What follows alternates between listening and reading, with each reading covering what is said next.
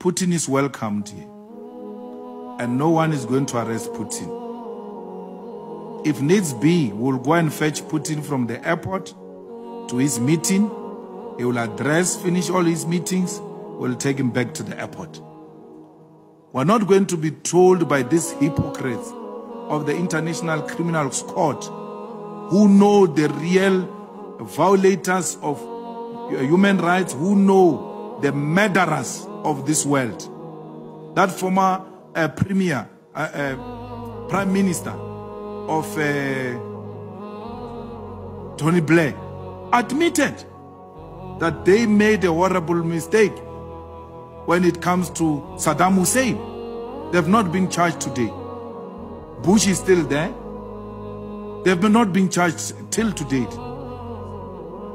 And then Obama killed Gaddafi. And then nothing has happened.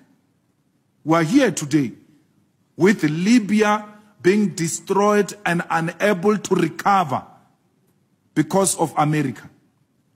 We know very well that where NATO gets involved, those are terrorists.